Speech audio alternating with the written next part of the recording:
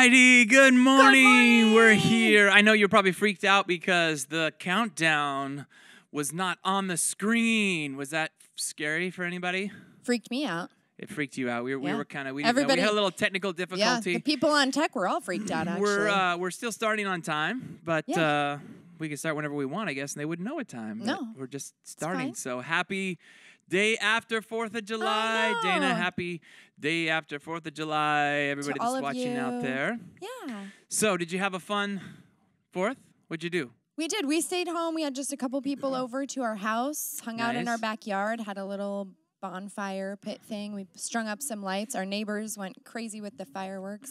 I mean, not like spectacular Yes. shows, just like every neighbor had the really loud ones that went off. It was. I wonder if everybody experienced that because we went. I went to go buy some fireworks. I mean, I'm not very smart, I guess, because it was like Saturday afternoon, just thinking, oh, okay, I'll pick up a couple fireworks. Yeah. I went to the Safeway uh, there in Duvall, and um, they were sold out except for the cheapest thing they had was like $150. And I'm not quite a $150 I no, firework person. No. I'm more like a $20 firework right. person. I'm okay. more like sparklers. And uh, I was, I was asking like, "This is all you have?" She's like, "Yeah." She said, "I've worked here every year, and we are so sold out this year. Everything." Weird. She said, "We've never had like sold so much stuff." yeah, So I think because because shows and fireworks shows were Right. canceled, yeah. so everybody's at home. We were at home, did a little fire pit, and roasted some hot dogs and stuff Yeah. over that. Had a couple Yeah. friends over, and neighbor. yeah. and so, we did little sparklers Yeah. for the kids. and it was so yeah. loud in the was neighborhood. wasn't really it? loud. Fireworks were just going Yes. boom, like yes. from like. it was really loud. My kids just kind of kept jumping. Like they weren't afraid, but it was like really startling to everybody. They were very loud. The hardest yeah. thing is falling asleep on Fourth of July. My neighborhood kind of like went quiet Did around go quiet? 11, 11:30. Like they Mm. just kind of stopped. A few went off here and there after that, but Yeah. Eugene burned his finger on a sparkler. I know. I was like holding Oh. it with him, and as soon as like he was watching, and as soon as the fire went out on it, he just grabbed it.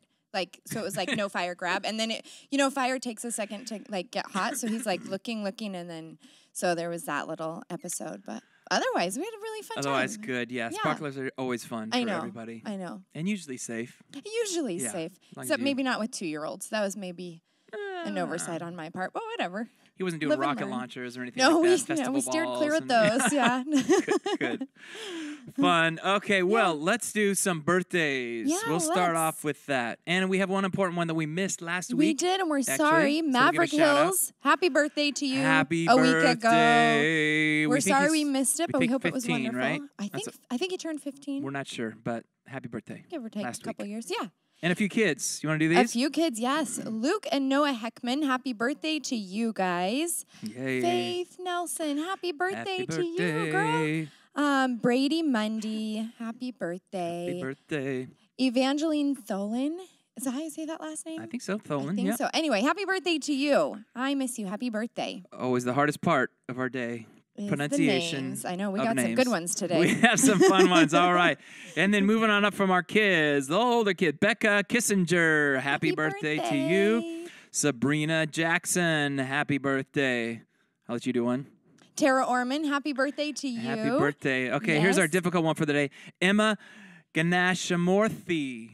Ganashamorthy. Uh, let uh, me know if I got that right. If you're watching, Yes. uh, send us. Spell that uh, in a way that we'll Spe- know. send us a phonetical spelling, okay? Now that we Mm-hmm. have Karen's right, we want to get everybody's name pronounced right. We will never forget that one. And last, oh no, we got two more. Yeah. Kirsten Edwards, Happy and that was today. That's Happy today. birthday today. Yes. And Ann Staub, happy birthday Staub, to happy you. birthday also, I today. think today. Also, Yes. and Brady Monday was today too. mm-hmm. Yeah. So that's very fun. Fun day. Did Yeah. anybody see who was the fourth? Uh, Faith Nelson was on the fourth, so that Yes. was seen. So all of America celebrated you, Faith. Those, that's very exciting. Very wonderful. For kids, Yes. some, what's exciting coming up for kids For in kids, August? oh my goodness, we have Bible camp coming up August 3rd through 6th. It is online and it's going to be super awesome. You guys don't want to miss it. Um, they have lots. I heard there's a time machine that's going to show up in it, and I know lots of crazy cool things. So you guys Kind of do cool not if you to travel back in time, huh? or forward maybe. Ooh, or forward. Yeah, can you? what, if you had to choose one, what would you choose? Back or forward? I don't know. Right? Maybe maybe forward. I'm a planner, so if I could go forward, know what could, like, happened? yeah, come back and plan for it. Yeah. But could you change it if you saw it? That's the now we're getting too deep. Okay. Too deep, too early. Can't go there. We're- better move on from there. So sign up. You can sign up online August 3rd through the 6th. You don't want to miss it for your kids. It'll be a Mm-hmm. Fun time. Yep. We also have coming up today communion. Today's communion Sunday, Yes, first that's Sunday of the month, and so we just encourage you if you haven't uh, already, get your elements ready so you can Yes. be prepared. We'll do that at the end of the message portion today, and that'll be good. And then uh, right after this, we're doing something Yeah. Church in the lot. church in the lot. So I'm excited. so this is actually first ever hmm uh, service with people. We've Right, you have done to- you have to services word it right. Yeah, without people. We've done been doing Yes. services here, but ser- first services with people. With people. Uh, at 11:15, we're doing that out right here in the Yeah. lot, and uh, that'll be a lot of fun. You could also join us next week if you'd like to. We'll be doing that again, and uh, the weather looks like it's going to be perfect. I know, Trent. It's sunny today, and we didn't mention it. It's a nice. Oh, look at you. With It is shoes. very sunny, yes. So I did not have to wear my waterproof shoes, although a few days this week I did because we. Uh, one more story. We celebrated our anniversary this Oh, week. happy okay? anniversary. And uh, right, so our anniversary is July second, and we were having a fire in the fireplace. Hanging That's out because it was so cold, right? And I'm thinking we got married in Sacramento, which is like it was like 120 degrees when Oh, we got yeah. married, so it's like kind of a brain trip that it's so cold. In July, we would have a fire in the fireplace, but not today. I'm wearing flip flops Today he has his fancy flip flops on. celebrating. Good for you, Trent. You, you got some fancy. I got uh, my, well. These are my red, white, and blue. I'm, Oh, I'm festive. You're but you did the white today, so that I was did the good. white. I did white, that. Yeah, have done and red. I got my and red shoes. on. um, I don't know if I can do that. You got red flip flops. That'd be really good. I do. I've. I could. We should have coordinated. Okay. Next week we'll together. coordinate our Okay. flip flops, what color styles we're wearing. Anyway, we could go on. We should stop. No, we should Uh, w- stop. We're glad you're here. Uh, we're going to worship in just a minute, and we got a little video here. You can just Mm-hmm. watch. It'll kind of just set the tone of worshiping our great and almighty God. Thanks again for being here today.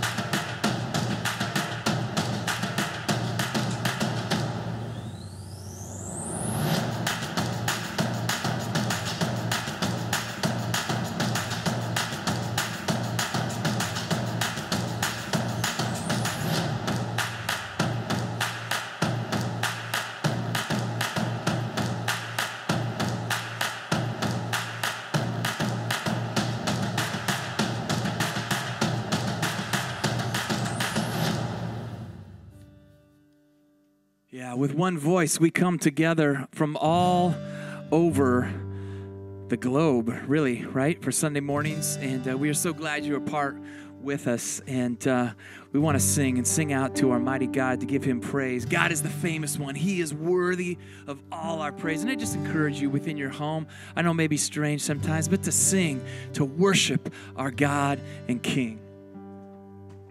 Let's sing this together.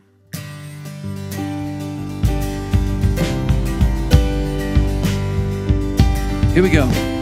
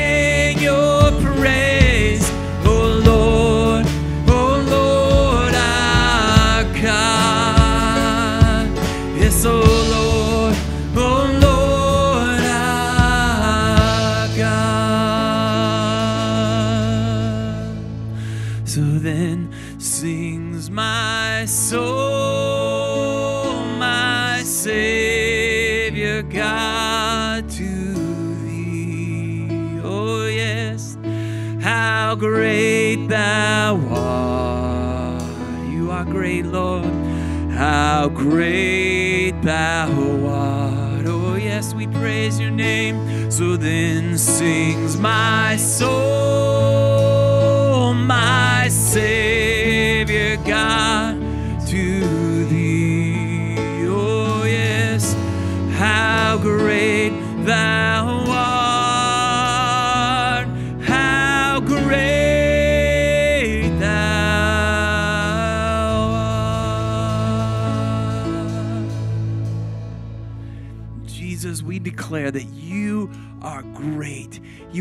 King. You are the Lord, Jesus.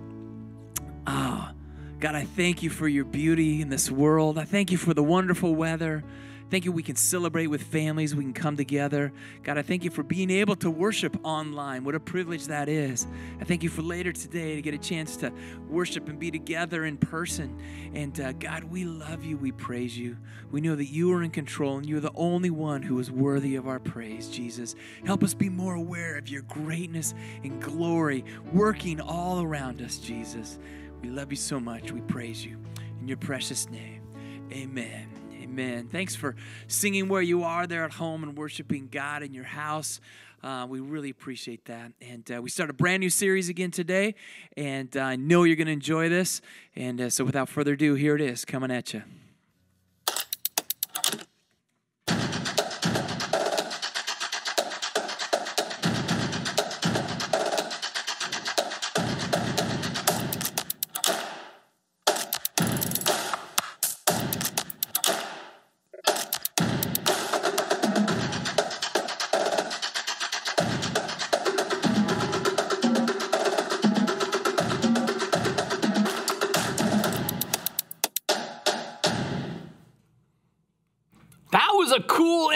Man. I'm looking forward to this uh, kind of final four for the month of July. We've got a ton of business to do today. So, uh, right now, I'm going to ask that you just would pray with me. That would be fantastic. And then we're going to get right underway. So, let's go ahead and do it together. Jesus, I thank you for the grace that you have shown us, not just as individuals, not just as a church, but as a society. I thank you even for the fact that we are remembering that and celebrating that this weekend, that uh, you have done a thing in this little corner of the world that has changed the world in many ways for the better. And I pray that we never lose sight of that and that we always give you the credit that you are due in all things and how you use imperfect and fallible people to carry out many different missions to advance your gospel and to advance your kingdom in this world. And so we thank you for that, Jesus, and we praise you for that in your good and perfect name. Amen. All right, so uh, it is the final four, and by way of a free election and a democratic process, you all have decided on the topics that I get to deal with for the month of July. And among those was Jesus and the Revolutionary War. Thanks for that one, all right? So, this is going to be an interesting Sunday today, all right? And so, I want to start it off right from the get go, trying to just kind of anchor a couple of ideas, and then we're going to jump right into some text. We're going to jump into some history, jump back into some text, all right? So, let me start this off making some clear declarations. First of all, first declaration I love being an American and I love the United States of America. If you drive by my house, you will see an American flag day and night. At night, it's lit, in the day, the sunshine, when it's sun, sunny here, lights that flag. So, always been flying the flag, love the flag. More importantly to me, though, however, is I love Jesus and I love his book, all right? And we all as Christians know that Jesus and his book trumps all things in life. He is the supreme Lord and master of our lives, and his word is the supreme master over all things in our lives as well. Now, I say that because here is a truth that, frankly, I, have said many times and I say again uh, there are things that the Bible says that I don't like. There are things that the Bible calls us to do that, frankly, I disagree with, but when I disagree, it wins and I lose, right? And so we got to understand that in some of this conversation today. Now, another thing I want to say is I'm Scottish, right? And uh, we Scottish people have had our own issues with the English as much as the colonies had issues with the English, and so have to navigate that humanness in there as well and try to figure some things out.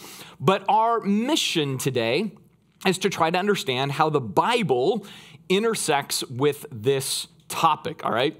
Now, in doing that, it doesn't take away from the fact that, you know what, what has been created in our society is unlike anything the world had ever seen up to that point. And the very freedoms and ideals and advocacy that was built into this equation known as the United States is powerful. And part of what's powerful about it is the fact that what the founders kind of designed in there was this reality that says, you know what, keep learning, keep growing, keep discovering how we can advance greater and further freedoms as we move along. In fact, if you just think about the trajectory of our history, it's pretty incredible to think that like in 1789 was the first election, but it was only 6% of the population. You were male, you were white, you were a landowner, you paid your taxes, and you could vote. But then, like 80 years later, all white Americans, whether they were landowners or not, could vote. And then a little while after that, like in the 1870s, the African American slaves were freed and they could vote. And of course, there was the Jim Crow laws and things of that nature, but we continued to course correct and solve those problems. And then in the 1920s, you ladies, you were able to vote. And just a little while after that, the Native American peoples were able to vote. And then in my birth year, 1971, all of you 18 to 21 year olds, you could vote. See, I highlight that just simply to say one of the most incredible things about our system is that we went from 10 amendments to 27 amendments because there's this constant hunger for greater, further freedom, for us to continue to refine and adapt so that everybody, all peoples, at all times, in all sorts of ways, have the liberty that we are celebrating this weekend. I think that's a powerful thing because this is an ideal that literally has changed the world. And so I can say with confidence that God has blessed America, and from that, America has blessed the world, right? No debate. But the question we are asking today, the question that you have asked me to tackle is well, how does then the New Testament relate to the war for independence and the things that led up to that. And how would we navigate that if we were living in the colonies during that time and we had our Bibles and trying to figure out how we address those things? And, and that's kind of the task today. And as we do that, I want to remind us of this simple idea that throughout our own Christian history, uh, God has done tremendous things and blessed movements even though at times throughout those movements, the individuals involved or the times or the seasons, uh, man, those were imperfect types of people, right? I mean, you just read through your Bible and you go, Abraham, imperfect guy, Moses, imperfect guy, David, the same, the 12 apostles, the same, the history of the church, the same. And what we might have to face a little bit today is the fact that some of the things that led into this, not what was born out of it, but led into it, maybe the Bible said some things that we have to again, wrestle through a little bit. Now, uh, as I go into reading a passage out of the book of Romans to you, I want to be clear with one last thing, which is uh, I, I'm not talking about all war or all wars or anything like that. Um, so if anybody says, well, what about Bonhoeffer and the Nazis? I'm like, different discussion, different passages. We could talk about that at a different time. But we're, we're really trying to look at where uh, the revolution intersects with God's revelation, right? And so, with that, I read a passage from Paul out of Romans chapter 13 to start things off. He says, Let every person be subject to the governing authorities. For there is no, authority except from God, and those that exist have been instituted by God. Therefore, whoever resists the authorities resists what God has appointed, and those who resist will incur judgment. So I want to stop there for a second and note that Paul here is writing to Christians in Rome under the Roman Empire, very heavy tax system. Uh, there was laws, but they only favored a certain portion of people. It was a very difficult time. Eventually, you had people like Nero, just crazy people, as the emperor. And yet, Paul is saying we bring a different thing to the table as followers of Jesus. In fact, when you look at the whole ministry and message of Jesus, it's this counter earthly, counter cultural, counter revolutionary system of loving the unlovely, of caring for our enemies, of changing the world by doing things differently than the world does them. And so Paul is writing in that same vein, right? Like everybody else wants to resist, but he's like, no, we, we're going to win this battle in the name of Jesus in a different way. From this, he continues. He says, The rulers are not a terror to good conduct, but rather to bad. Would you have no fear of the one who is in authority? Then do what is good, and you will receive his approval. For God, he is God's servant for your good. But if you do wrong to your governing authorities, he's saying, right? He doesn't bear the sword in vain, for he is the servant of God, an avenger who carries out God's wrath on the wrongdoer. Therefore, one must be in subjection. Again, Paul is being very clear that these are commands, right, to us. We must be uh, in subjection, not only to avoid God's wrath, which is a very strong statement, but also for the sake of conscience. For because of this, you must also pay taxes for the authorities or ministers of God, attending to this very thing. Pay to all what is owed to them taxes to whom taxes are owed, revenue to whom revenue is owed, respect to whom respect is owed, and honor to whom honor is owed. This is the passage that we will come back to at the end and try to measure kind of some of this history against, right? But now I have to give you a hopefully rapid history lesson to catch us up to speed and then kind of roll back into Romans chapter 13. So it's the 16th century, and mercantilism is grabbing hold in Europe, right? And so this is a massive trade system. And when you have a lot of trade, you need a lot of supplies to undergird the trade. And so wisely, Queen Elizabeth said, you know what? We need to expand our territory because she knew that Spain was just going all over the place and they were starting to gobble up a lot of resources. And so, in her wisdom and foresight, she had this thought of saying, we need to colonize with a British colonial system the North American content that con, uh, context there that's recently been discovered, right? The continent of North America. And so she decides, hey, we need to get this established over there. And so from that, the British colonies in North America are formed. And one of the things we sort of assume sometimes is that the colonies were just this kind of singular mindset group, but really there was three divisions within the colonies. There was the North colonies or the New England colonies that were more like fishermen and hunters and trappers and things of that nature. You had the middle colonies, which were a bit more farmers, eventually like the Quakers and more of the pacifist types. They kind of settled into that region. And then you had the southern uh, colonies, and those were uh, lots of farmers, lots of plantations, lots of like tobacco and things of that nature. And it was the southern colonies that leveraged a lot more of the slave trade and the use of African slaves in the southern colonies. In fact, when you read material between the north and south colonies, they didn't always appreciate each other or like each other or see the world in the same way. Um, but that was sort of the division. And you could see roughly 80 to 100 years later, that was going to materialize with different problems, right? I say all of that simply to make the point that all of the colonies were British colonies established by England for the purpose of trade, right? So they had a local government, but they were under a British kind of system, jurisdiction ultimately, right? And that's an important thing to kind of realize here because, in essence, what we want to recall in our history is that we were the property of the British Empire, right? We were an extension of those things. And while in some ways we go, well, that's kind of a bummer, well, the positive is it also gave the colonies protection from the British military, the Redcoats, right? And this was important because we eventually found ourselves on the precipice of a war in the colonies, which was the French and Indian War. So this began in roughly uh, 1754, went to 1763. And it was a very costly war. In fact, it eventually kind of encompassed much of the world. It kind of became the Seven Years' War, fought on many different fronts. But uniquely, it was fought here in uh, North America, and the British defended the colonies during that time. Now, it was at a great cost, both economically and by way of blood of soldiers, including colonial soldiers. George Washington fought under the British uh, in that uh, particular battle and uh, was a little put out that he didn't get a royal commission by the end, which I'm sure then England later was like, we should have just given that guy a commission. Maybe this whole thing would have turned out different.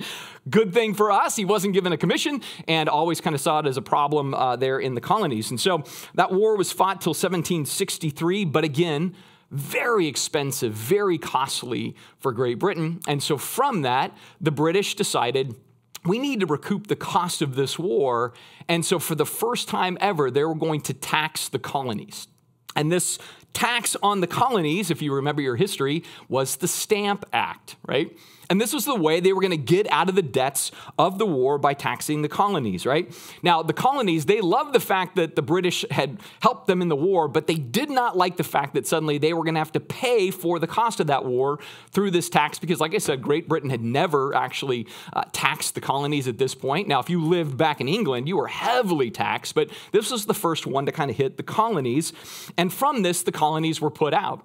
In fact, the phrase no taxation without equal representation was born out of the Stamp Act because really the way they looked at this was wait, we're not even in Parliament to make the decision to forge this tax in the colonies. We're against it, we oppose it. There's no way we're going to do this, right? And so that's kind of what began to transpire. Now, the interesting thing about this particular tax is that it was never collected in the colonies because the colonies, in essence, kind of revolted so much so that uh, there was never the opportunity to collect the tax. In fact, Benjamin Franklin, our man, Benjamin Franklin, uh, ended up to convince Parliament to remove the tax to kind of reduce the amount of anger that was going on in the colonies. And so uh, from that, they rescinded the tax, and the colonies went, hey, uh, we just figured out if we protest and we show our independence, we have some leverage over the crown. And so that sort of got registered in their mind. Well, that was in 1765. In 1766, uh, the crown decided to roll back around with a new idea to try to get some taxes, which was the Townshend Acts. And this is where they began to tax goods coming into the colonies.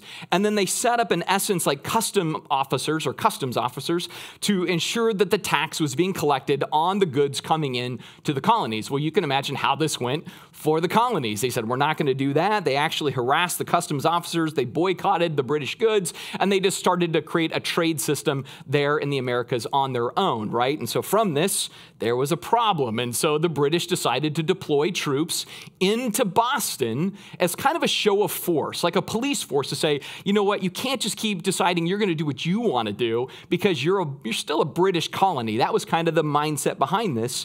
Um, and so the British saw this as sort of a, a, subtle act of defiance, if you will, against the ruling body that controlled the colonies. Well, tensions stayed sort of tense up until about 1770. And this is the next critical event that occurred, if you remember your history, which is the Boston Massacre. Now, it's interesting because we think massacre and we think dozens or hundreds of people. Uh, by the end of the massacre, five people were killed, three on the day of the massacre, two died from their wounds. But the whole thing started when an apprentice wig maker and a British soldier got in an argument. And uh, from that argument, it escalated. About 200 colonists came and surrounded eight British soldiers. And the colonists began to do everything from throw rocks and sticks and snowballs to oyster shells, apparently. Like, that's a really dangerous thing to throw, right? So they started throwing these things at the soldiers soldiers. Somebody yelled fire. British soldiers opened fire on the crowd, and hence you have the Boston Massacre. Now, what's interesting about that and why it's so pivotal in the story is that uh, John Adams actually was the attorney that defended the British soldiers. And after the course of a fair trial that was considered a fair trial, most of the soldiers were found not guilty of the incident. Uh, but it didn't matter because the Sons of Liberty also were able to capitalize on that and say the British troops are dangerous and British occupation threatens the American colonies. And so, from that, certainly there was this divide that grew, right? The British British are, are dangerous. They're not here for our best interests, but they're here simply to control us. And there's proof uh, kind of in the pie right there, and they saw it. And so the massacre kind of cemented more of these feelings. Well, in 1773, the British pulled out of Boston and they rescinded many of the Townshend Acts, right? And they just kind of stepped back again, trying to let things kind of settle in. But they decided to leverage a new tax. Man, the king, he loves to leverage the taxes. And this time it was a tax on tea, right? And it was a tax that favored British tea at the cost of colonial tea.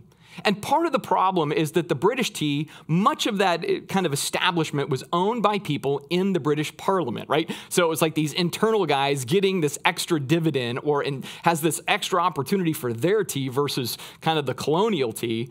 And so we know from that again, the Sons of Liberty, they stepped in and they boarded British ships and they threw all the tea into the harbor. And so you know the Boston Tea Party. Now, what I think is funny about that particular event as they destroyed all of this tea, but they didn't hurt any of the ships, and even the lock they broke, the next day they came back and replaced it. Like, we took out all that tea, but uh, I'm gonna give you your lock back, you know? So, very interesting turn of events there, and it just sent another message to England that our independence is being driven and focused on, and we are going to be a different people than what maybe the crown wants us to be. Well, this act of defiance definitely angered England at this point. And so, from that, they brought forth uh, the coercive acts, or the intolerable acts, as they're called. And this really was a doubling down for England, right? So, this is stuff that even comes into our Bill of Rights. This was where they could just do search and seizure at will. This is where they could force uh, col- colonies and colonial homes to actually house British soldiers and feed them and provide for them. Uh, just again, this took a whole different turn of real control that began to settle in. And so there was a sweeping control where suddenly it was the British military more in charge of the colonies than the colonies themselves. And so there was this real deep doubling down and the animosity. It ramped up very, very quickly, all the way into 1775 where the British military decides we need to deal with these revolutionaries. In particular, the leaders, guys like John Adams and his beer, uh, and John Hancock. So the British military marches down to Lexington, Lexington and Concord to arrest these individuals, and it is there that 77 colonial uh, militia they attack British troops. And they do it very different, right? Like the British are all lined up in their rows and they're used to this certain form of military advancement. But the militia, they were hiding behind trees and rocks. They're like, we've learned from the Indians how to fight differently than you guys. And so in the end, only seven militia were killed, but 73 British soldiers died, 174 were wounded, and 26 were missing in action. That was the event known as the shot heard around the world. And it was really in light of that that, man, war was on, right? At first, New England was totally in on it. They're like, yep, we're ready to go, right? But the southern colonies, they're like, man, we trade a lot with England still. There's still a lot of benefits to being a part of English society and rule. But there was two key things that happened that switched it for the southern colonies.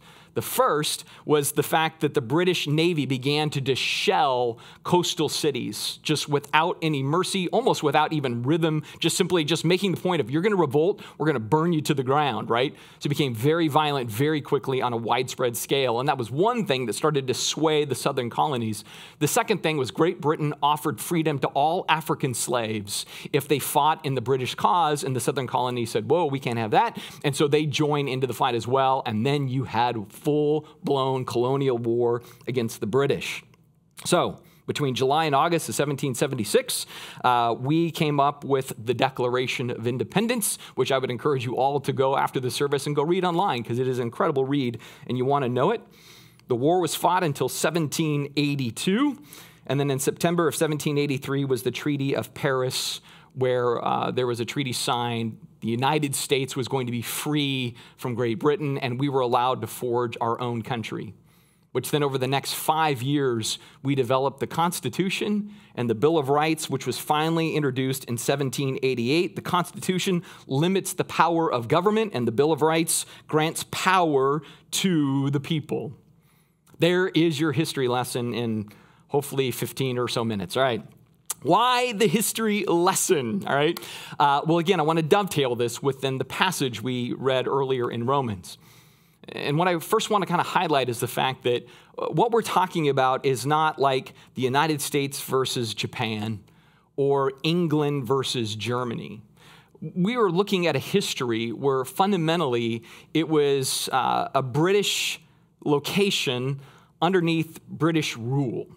It was people that were a part of a common culture under a common set of rules or laws, which is why, for example, George Washington, if we would have lost, wouldn't have been treated as an enemy combatant. He would have been treated as a traitor guilty of treason because it was seen as kind of an in house fight, if you will, right?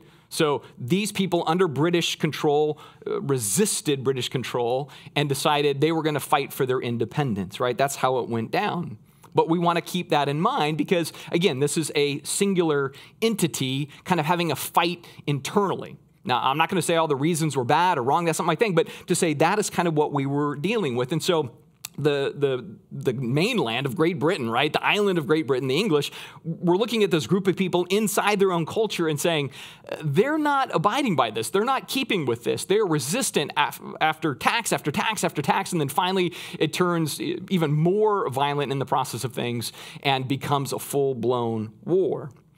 Now, we could talk about fairness of taxes and we could talk about laws and we could talk about when protest becomes violent protest and if that's right or wrong and all these different things that we could debate in this. But again, I'm not a policymaker and I'm not a politician. I'm a pastor with a very particular question that's been tasked to me, which is those events that led up to the war, not the things that came out of the war, not the Constitution, not the Bill of Rights, not the birth of our country that came out of that, all of which I'm 100% behind, totally supported. I don't see any problem biblically with any of those things. The question, though, is was this revolutionary war, uh, the things that led into it, biblically justifiable? Now, what I think interesting, uh, to me at least, about this um, is that this was an issue that plagued pastors in the colonies. Um, they had to wrestle with this pretty heavily. And so there was a book called Sacred Scripture, Sacred War by James Byrd. And he does something really interesting. He collects all of these sermons. Uh, pretty much preached between 1674 and 1800, collects about 17,148 different biblical citations through all of those sermons, and he did this to say, what did preachers preach on? What was their take? What were they telling their congregations uh, to believe? And what were they saying the Bible instructed in relationship to these things? Like, what was the big idea that was in there? And it was interesting because what he found is that the chief, most referenced passage, there was a handful, but in that little smattering was the one I opened with at the beginning Romans chapter 13, verses 1 through 7. So they taught on this heavily, they taught on this often. The other one they taught on was the words of Jesus when he said, uh, You know what? You heard it was said, an eye for an eye, a tooth for a tooth. But now I tell you to turn the other cheek. Between Romans 13 and Matthew 5, those are among the most dominating passages taught in pulpits in the colonial times uh, leading into the war, through the war, and after the war, right? And the question becomes well, what did they teach in relationship to those? And here's a quote in relationship to kind of deconstructing what was being taught. Says this You can't overcome or you can't convince Americans who revere the Bible to take up arms against the authority unless you can persuade them that these passages are not addressing their situation. Right? So, in essence, what the conclusion was was that many colonial pastors, right, of which is my heritage, uh, specifically looked at these passages, taught these passages, and said, These don't apply to us, right? We are exempt from these passages, and they would have sort of reasons why we were exempt. And so they would take an obvious thing like, oh, submission to your government and paying your taxes, and explain why this passage didn't count for us in this time because our circumstances were different. Now, here's what I understand about that it's very understandable we are all human and we all see the world in a certain way. And there is always a temptation to want to say, that one doesn't apply for me, right? That's why I said at the beginning, there are things in here I don't like, but it wins, I lose when I know that seems pretty clear. And Romans 13 seems pretty clear. Now, I don't want you to miss what I'm saying here. As things escalated into full blown war and there was the shelling of the Navy, you could certainly begin to make arguments that, hey, now this is self defense, and that's a completely different discussion, right? But the things that led up to that, that escalated to that, uh, were certainly things revolving around submission to government and taxes that created the hostility and the aggression and eventually uh, everything that kind of came forth from these types of things. And pastors in the colonies uh, definitely played the role of saying we need to kind of mobilize and prepare the people for this kind of revolution against England. And so it's interesting when you go back and you look at their sermons, they taught heavily from Moses because he was taking people out of bondage and into freedom.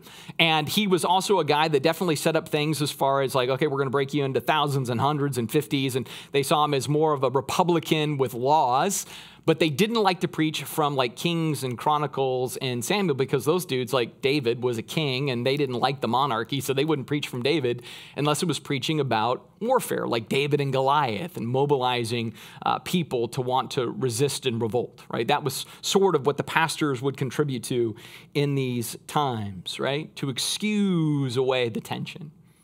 Now, in the end, uh, it's what I said at the beginning God uses all things to bring forth his blessing in the world. God uses imperfect people to produce, in the end, really beautiful and blessed things. And so uh, I don't want you to walk away from this and say, Matt doesn't see the beauty of our freedoms. I totally do. Or Matt doesn't see the value of what came out of the Revolutionary War. I absolutely do, right? But again, in kind of being tasked with the question, were the series of steps going into that something that we could go, well, there's clearly why it's okay to do this in the Bible the Bible creates a real tension. And I think for us today, as I want to kind of round this out, I want to remind us of what makes Christianity so different in the world. What makes it different is when it does things differently than the world does it, right? That's what makes us unique. Like, like part of faith is having the faith to trust Jesus' words about loving your neighbor, about loving your enemy, about not seeking first this world, but seeking the kingdom and its righteousness, and these things are added to you. The tension of faith is the fact that faith looks foolish to the world.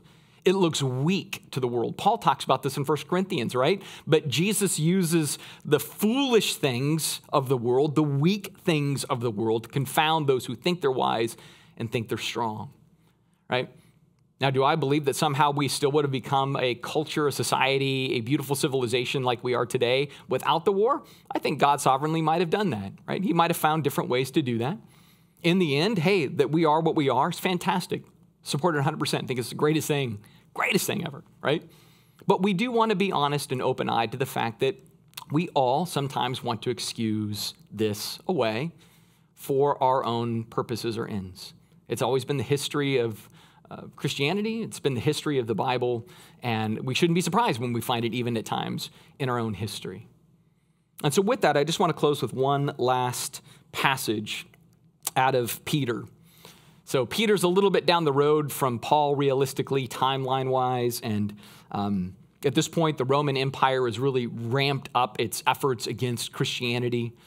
And you would think at this point, it would be like, Peter would be like, hey man, I drew a sword back in that garden that one night, and I should have kept that thing out. Time to bust swords and make this happen. We're going to deal with Rome. We're going to override it with force. But that's not actually what Peter says. Instead, he tells Christians who are suffering at the hands directly of Rome, he says, Be subject for the Lord's sake to every human institution whether it be to the emperor as supreme or to governors as sent by him to punish those who do evil and to praise those who do good. For this is the will of God that by doing good you should put to silence the ignorance of foolish people. Live as people who are free. Yes, freedom. He says, not using your freedom as a cover up for evil, but living as servants of God. Honor everyone, love the brotherhood, fear God, and honor the emperor. I mean, that's mind blowing at that point. But then he says why in verse 21. He says, For to this you have been called, because Christ also suffered for you, leaving you an example so that you might follow in his steps. He committed no sin, neither was deceit found in his mouth. When he was reviled, he did not revile in return. When he suffered, he did not threaten, but he continued to entrust himself to the one who judges justly. See, I think the biggest challenge always for us as Christians is to be able to have the faith to trust Jesus' way. And I'll be honest with you, there are times I don't. There are times I don't. I go, it's too impractical. It's too impossible. Um, I'll put myself at risk too much. Um, I'll just take things into my own hands. That is true. And there's been times I've done that, and God has still blessed me despite me. That is true too. But our mission is not to figure out where can I take control of things and hopefully be blessed on the other side, but Rather, where can I obey and seek the blessing on the inside as well as whatever blessing might be on the other side as well? And so that is always to be our heart. That is always to be what we keep before us. Because again, before we are anything else, we are followers of Jesus and followers of his book. Let's go ahead and pray together. Jesus, I thank you for your hard words. And I thank you that your hard words are not meant to be just this thing that we go, oh, that's scripture, that's the word of God. It sits over there as a holy thing under glass that we admire in, in idea only. No, your word has utility. Your word calls us to hard actions. Your word calls us to faith when we want to use our force, we want to use our control, we want to make demands, and you go, well, wait, but I've called you to servanthood, I've called you to something different. I've called you to change the world by leaning into things that everybody says is weak and foolish. I pray that we will have great faith in your revealed truth. We will do the hard things, not just the easy things. That more than making any demands, we will choose to be the servants of all. That we will use our freedom for those purposes. I think about even this morning as we prepare for communion, we're sitting here taking bread and cup and reflecting on the fact that you're like, hey, if my kingdom was of this world, my people would fight, but your kingdom's not of this world, so we're different people. We love, we care, we invest, we sacrifice. We do the hard things to bring real eternal change. So may we never lose sight of that, right? May we always appreciate what you've given us as a culture. May we appreciate the United States of America, love all that it has grown and developed into, and use that to then be greater servants for you, making much of you and pointing to the beauty of your very counterintuitive word that blesses and frees. Jesus, we thank you, we praise you, and we need you in your good and perfect name. Amen. Well, like I said, this morning is communion, and I think it's very appropriate. I think it's appropriate based on the topic.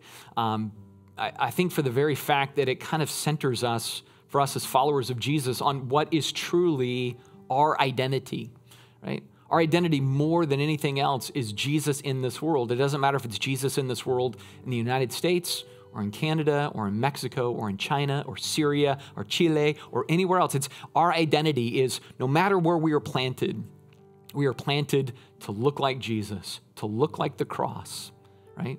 To look like the servants who care, who are not bound by the frustrations, the fears, and the cares of this world, but rather we are bound by a higher calling that is ultimately eternal.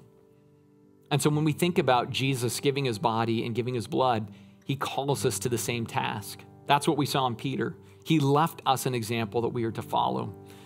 And so this morning, as we prepare for communion, I challenge all of us to let that be our center point.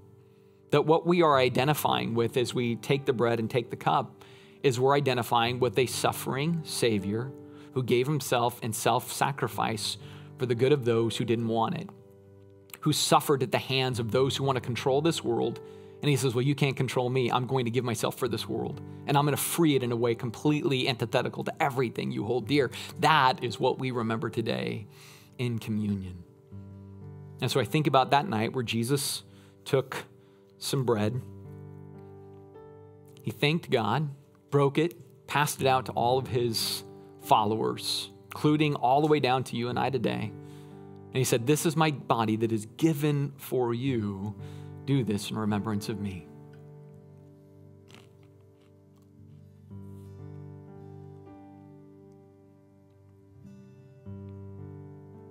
So the meal concludes. It's the end of the night. Jesus knows what's coming. He will lay himself down in his freedom. And he says, This cup is the new covenant in my blood, sealed between myself and you, so that you can have relationship with my Father and you can live like me. And so, with that, he says, Do this in remembrance of me. Jesus, I thank you again that you've invested into us. We are such weak, incomplete, fallible people. We choose our own way and do our own thing so often. And in your grace, you still love us and forgive us and use us. The human condition is replete with a history of learning, growing, failure, overreaching, in all sorts of ways. And yet your kingdom still moves forward. I think about how you use your church in all of its brokenness to still bring blessing to the world. May we always be aware, aware of our own propensity, for our own independence, so that we might submit to you and be truly dependent. And from that, we will be truly free. So, Jesus, we thank you, we love you, and we praise you in your perfect name. Amen. Just encourage you to reflect on his greatness for a moment. Oh, praise the name of the Lord our God. Oh, praise his name forevermore.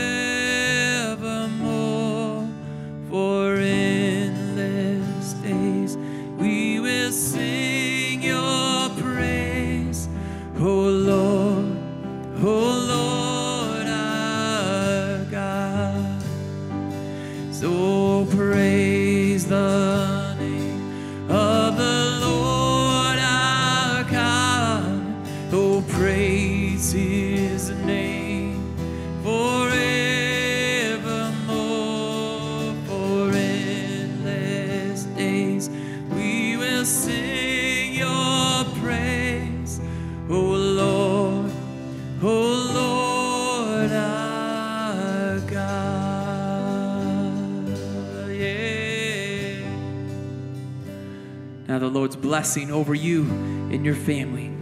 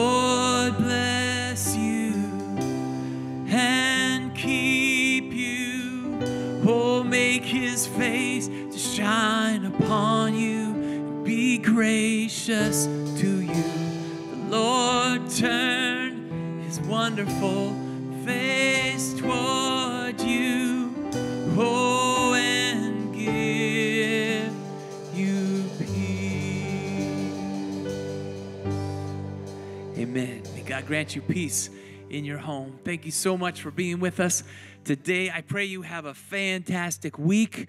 Enjoy the holiday weekend, and uh, we will see you back here next for part two of this series. Stay tuned to find out what the topic is going to be. And uh, you are sent out there now to go and be God's light to the world around you, your family, everything. Have a fantastic day. Take care, and we will see you next week. Bye bye.